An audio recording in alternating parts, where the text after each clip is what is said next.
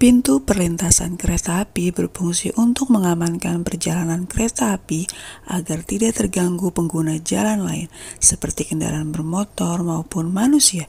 Selain itu, pintu perlintasan kereta api merupakan alat bantu keamanan bagi para pengguna jalan, seperti halnya bunyi sinyal serta petugas penjaga perlintasan.